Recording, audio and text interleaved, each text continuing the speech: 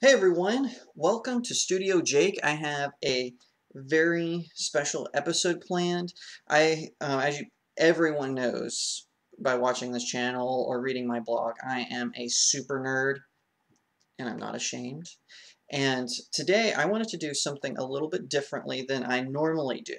Uh, you know, you've seen my trailer reaction, my comic book reviews, my movie reviews, my, my news updates, my off-topic videos and whatnot.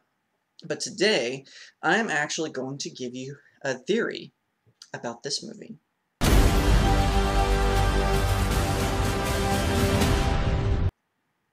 That's right, the Justice League hits theaters in November, and I'm super excited. Um, in all honesty, I think this is the film that DC should have launched with as opposed to Man of Steel. But anyway, that's neither here nor there. Um, DCEU has gone through several changes, and I think we're going to see a lot more. And I have a theory based on something we saw in the third trailer. And I know I'm a little late. This I wanted to do a trailer reaction to the third trailer, but just never. I was so excited that I just watched it and forgot to record myself. So I'm like, oh my gosh, this trailer's the, the most talked about, the most awesome. So without further ado, sit back, relax, and welcome to Studio Jake.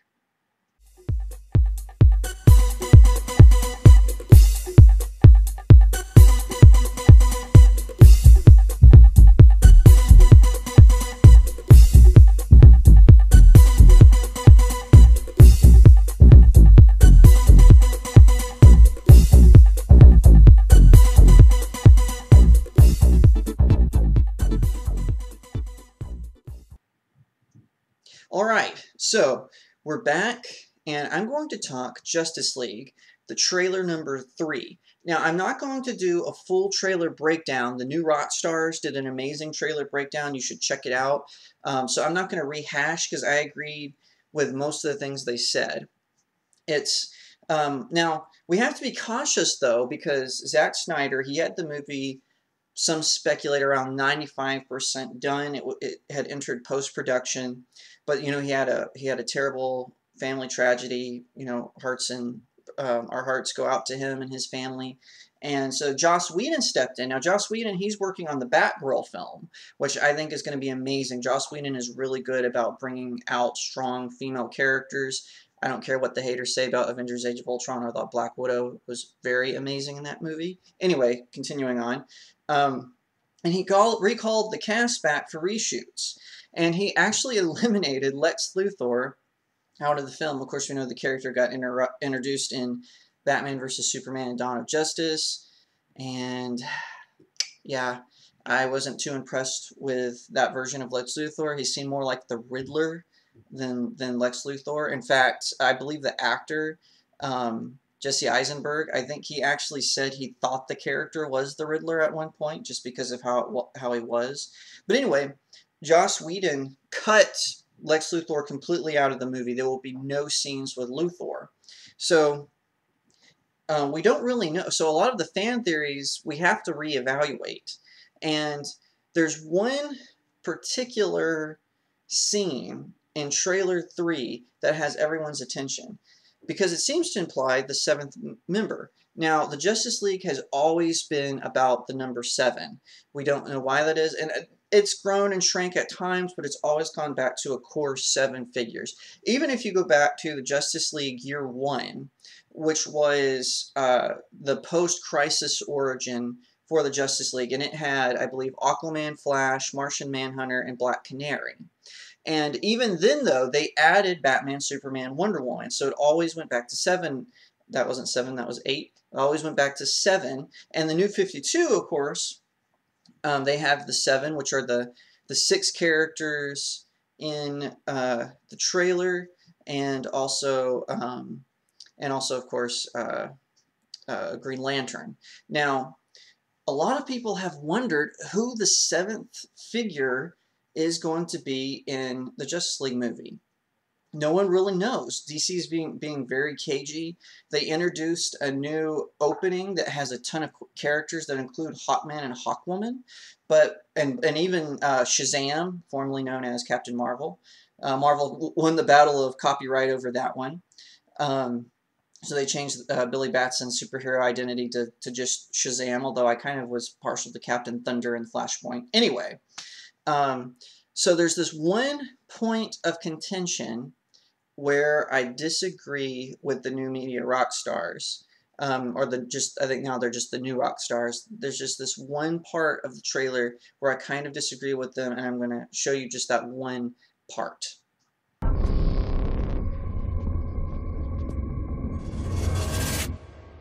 You said you'd come. Now let's hope you're not too late. Okay, so we hear this thud. Alfred's glass of Chardonnay or whiskey or whatever it is, it shakes. And then he looks up and he kind of looks odd. And he's like, he said you'd come. Now let's hope you're, you're not too late. Right? Or something along that line.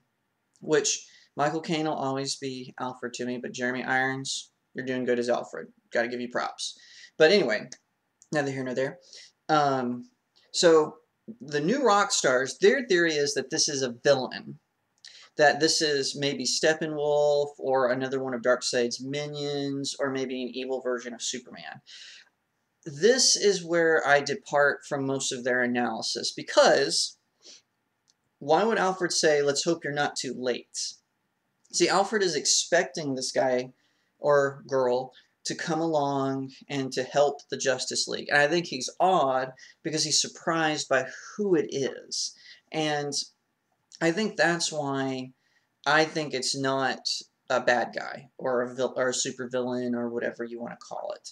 Now, there's been a ton of, uh, of speculation, again, about who the seventh Justice Leaguer is going to be. And we've got Batman, Superman, Wonder Woman, the DC Trinity. We've got Flash, Cyborg, Aquaman. Who is the mysterious number seven? And I think that this person who appears is this number seven. I think he is the seventh Justice League member. Now, I'm going to take a moment to rule out who these people might, or who this person might be. Now, in one version of Justice League, Black Canary was a founding member of the Justice League. She's awesome. You see her a lot in the Arrowverse. You saw her on Birds of Prey, the the really lame uh, uh, WB show that was along the same lines as Smallville. Um, it was a very lame show, but Black Canary nonetheless was a main character in that. And so it's uh, so I just, but I want to rule her out because I I don't think that Alfred would have reacted with kind of this awe. Not to say that female characters don't bring awe, but this would be if it was a female character, it would it would be a reaction. I think Alfred would have to say Wonder Woman, but Black Canary, she's got all the martial arts skills of Batman. Plus, she has her sonic scream, her canary cry. That's very, uh, very prominent. And she's also a girlfriend of uh, Green Arrows. So I think if it was her, um, as the seventh Justice Leaguer, I think Alfred's reaction, they would have filmed that a little differently. Um, I don't think it's Green Arrow, by the way. Uh, I would love to see Charlie Hunnam take on take on the um, the quiver, as they say, but um, I don't think it's him either. Uh, I think Green Arrow, he's famous enough thanks to the Arrowverse that they would have bragged about, oh, now he's in the DCEU. He's not just in the Arrowverse. Now we have the Green Arrow.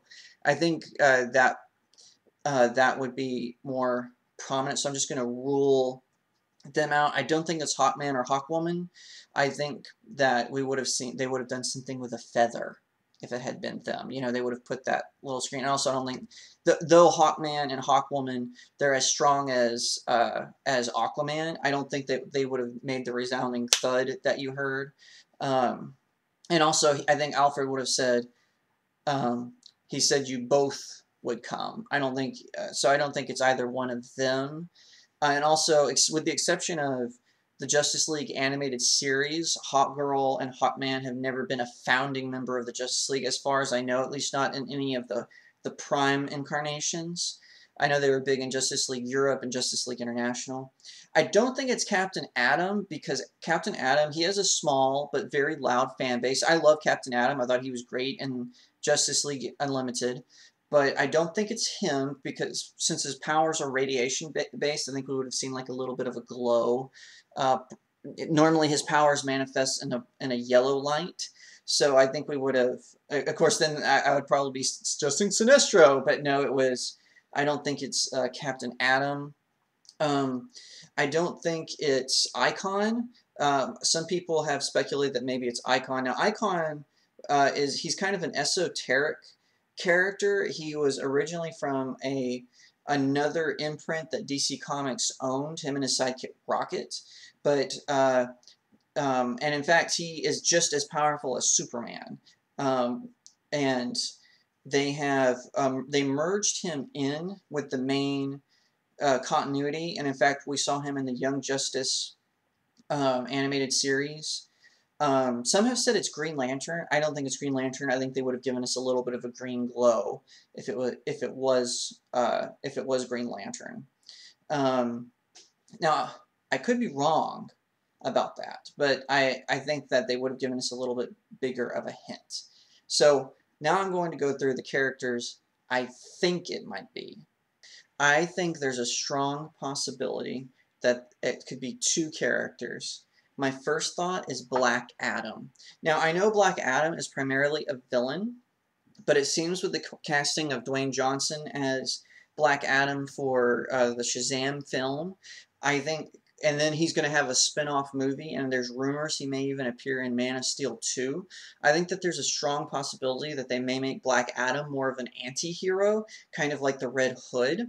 So I think that this um, character could be Black Adam. Um, you know, he's been in hiding because he was defeated by the wizard at the end of the earth. Um, that's his new name now because now that Billy Batson is Shazam, they changed the wizard's name to the wizard at the end of the earth. Why not just call him the wizard? Anyway, moving right along. Um, he's been in hiding after his defeat, and so when he lands, that's the thunderclap of him saying Shazam! And uh, he's approaching Alfred, and so maybe that's why Alfred looks a little intimidated because it's actually it's Black Adam, and maybe Alfred recognizes Black Adam, and he and so but Black Adam is here to help because one thing about Black Adam, he doesn't want to destroy the world; he wants to rule it. So that's why in in, in the Injustice video game, when Superman turns evil, Black Adam sides with Superman because he wants he's kind of like megatron you know megatron's big slogan was peace through tyranny and that's kind of how black adam is. He wants to rule the world through his tyrannical reign because he's he has this misguided sense of what justice and order is. You know he's he's uh, basically a communist you know we're gonna we're gonna rule everyone so that no one commits a crime. So i think that's a strong possibility. Um, i think that um, the second biggest possibility is that it's actually Shazam. It's Billy Batson. And maybe he has his powers and he used them once and something went wrong. And so he's been in hiding, but Batman being Batman, he knows that Billy Batson is Shazam. Now, I know it might be confusing some people because you might think, oh, isn't that Captain Marvel? No. DC has made a conscious decision not to call Billy Batson Captain Marvel anymore because Marvel has all the attention. So, um, I mean, why? Why would you want to call him Captain Marvel anyway? Now, I know he was originally Captain Marvel, and maybe they'll make like a like a, a weird newspaper reference, like maybe the Daily uh, the Daily Planet calls him Captain Marvel at one point. But why would you want to do that? I mean, let let Marvel have Captain Marvel. I, I still think it would have been better if they'd called him Captain Thunder, which they might because uh, they're doing a Flashpoint movie is confirmed. So long story short, um, there's I think that this guy could be Billy Batson, and that the that the thud you heard was him saying Shazam and turning into Shazam. I think, and that's another reason why Alfred looks kind of intimidated and awed. Because remember, Shazam is just as powerful as Superman. Now, I know I'm going to have all the Superman robots and fans are going to go crazy and they're going to say, "Oh my gosh, you said Shazam is, is powerful." Let's remember, Shazam is powered through magic, and what's one of Superman's three primary uh, weaknesses? Hmm, kryptonite, alien technology, and oh yeah, magic. So anyway, neither here nor there. I think that this is a big possibility that they're copying the animated New 52 Justice League War, because in Justice League New 52 War, they replaced Aquaman with Shazam. But since the trailer made it clear that there's no lanterns around Earth, they're going to make, um, that's why the, uh, Steppenwolf thinks this is a good time to invade with his army of parademons. That's why they're going to use uh, Shazam. Now, I, am going to contradict myself a little bit because I said earlier I don't think that it's Green Lantern, but if um, if there was a time to introduce Green Lantern, this would be it for DC. Because I know that they have a movie called Green Lantern Corps, and it's going to focus on Hal Jordan, John Stewart, and Guy Gardner, who are the three big. Now I know there's there's new characters. There's Jessica and there's Simon, and also um, Alan Scott, but I don't see them as Green Lantern.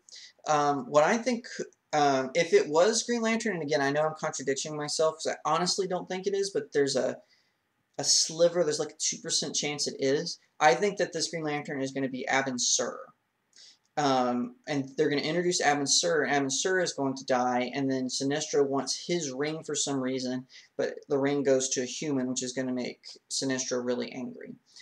I, think that's the only way it could be Green Lantern at this point. But again, I think if it was, they would have kind of, they would have thrown us a bone with like a little bit of green light.